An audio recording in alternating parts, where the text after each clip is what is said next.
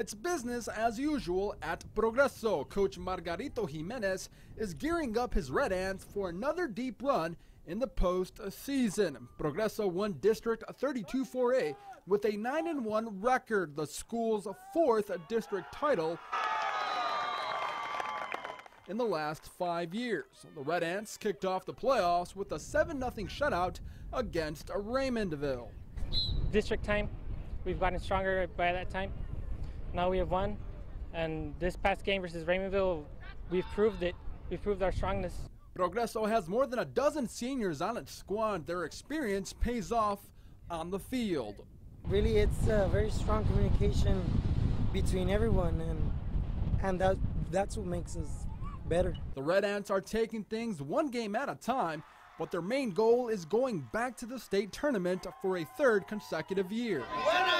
I got most of the boys coming back. I, I know these boys are hungrier than, than, than last year, and uh, they, they do want to do their best to, to come back and, and do something at state, uh, hopefully uh, this year. I'm a senior. I want to win it at all costs. I don't care like how, how, we, how we win it. I want to win it. I just want to win it. Progreso faces Somerset in the area round tomorrow at 4 p.m. at Calallen High School. Reporting in Progreso, Ruben Juarez, Channel 5 Sports.